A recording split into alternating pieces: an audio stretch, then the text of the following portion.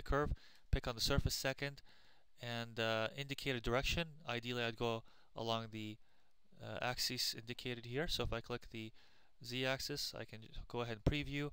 Looking really good. I'll hit OK. As you can see, it produces that curve right on that surface when before it didn't. So a very nicely placed uh, projection curve that can, can become very useful uh, later on while, while I'm working on this design. I can use it for trimming purposes or whatever. Uh, it's right on the surface, it's lying on right on top of it. So that can be a, a really useful tool for us. Um, another interesting tool is called the reflect line curve. Uh, not uh, used frequently, but it's quite powerful actually. If you click on the reflect line icon again and uh, hit F1, um, my help system is coming up on my other screen. Uh, I'll just open up the sample file and then you'll be able to see it. So I'll hit OK. And uh, there it is. So uh, as you can see there's an organic shape here and a simple cylinder. So if I zoom closer, I am able to click on the icon, uh, pick on the surface in question, uh, pick an origin. They've uh, provided us with that here. It's just a, a simple line with an endpoint.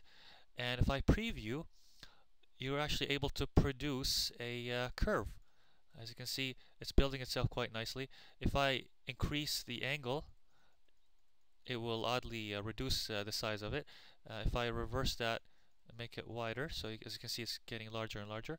Uh, so let's just say I want to bring it down to 115. I'm happy with these results. Of course there are limits to what you can do. Uh, so I'll bring it back, preview that, looking good. I'll hit OK. It produces that curve right onto that surface again.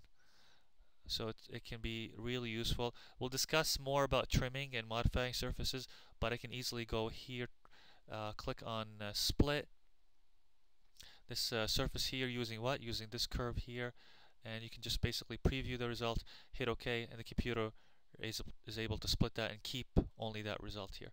So um, this can be one of the applications for uh, using this tool. Um, I would imagine people that use molding a lot would use it because they need to split their objects and create the cores and the cavities.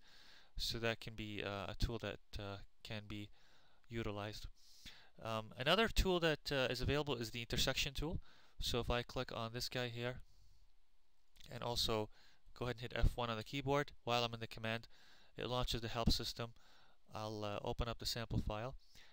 Again, if you have that help system loaded, you can benefit from this uh, feature. So here we are looking at two surfaces that are intersecting one another. Uh, if I hide the surfaces, you'll see that there's nothing there right now. Uh, let me undo and bring them back. So once I have these two surfaces, I'd like to intersect them and